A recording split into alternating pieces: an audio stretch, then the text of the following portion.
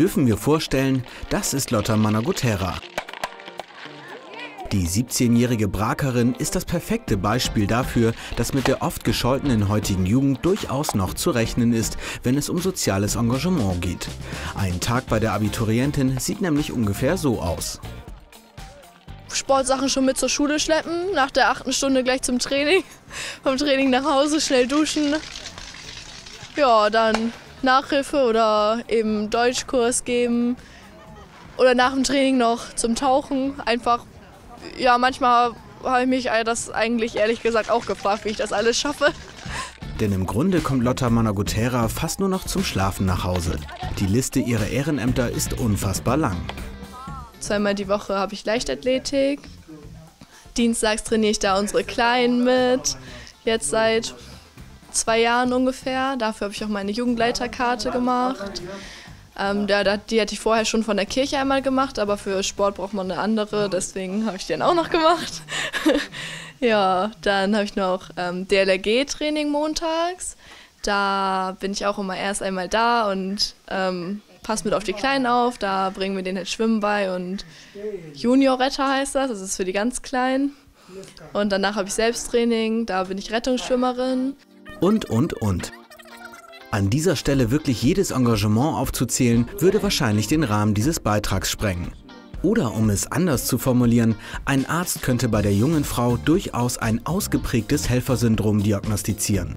Das bewies sie auch im vergangenen Jahr, als die Flüchtlingswelle Deutschland erreichte. Für die DLRG half sie als eine der jüngsten Helferinnen in der frisch eingerichteten Notunterkunft Oerbke in der Nähe von Bad Fallingbostel mit.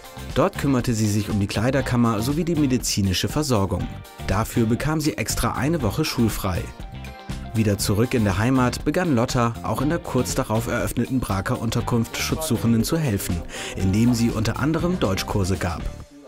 Ja, dann habe ich auch eigentlich die ganze Zeit nur gedacht, wenn ich da wirklich sieben Tage die Woche, 24 Stunden da wäre und nichts zu tun habe und ich kann die Sprache nicht und ich weiß gar nicht, wie es da abläuft, dann würde ich mir auch wünschen, dass irgendwie mal jemand kommt und sagt, hier, ne, so läuft das hier, ich helfe dir, ich bringe dir jetzt mal meine Sprache bei oder wenigstens den Anfang.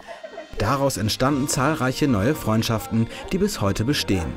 So viel Engagement für andere Menschen. Da huscht selbst Papa Willi, mit dem die Schülerin übrigens auch noch Training beim Eisstockschießen gibt, vor lauter Stolz ein Tränchen ins Auge. Sicherlich macht mir das absolut stolz. Aber ich würde die nächste Stufe gehen, aber die Kamera gibt es ja nicht irgendwie. Oberstolz. Es macht mich sehr, sehr stolz. Ich bin echt tief beeindruckt.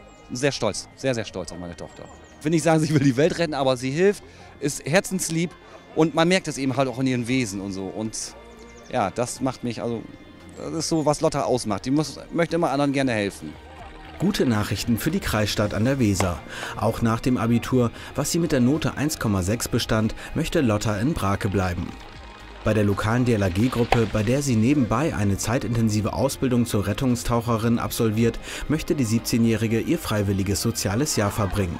Damit steht außer Frage, warum Lotta Managotera unsere hochverdiente Brakerin des Jahres ist.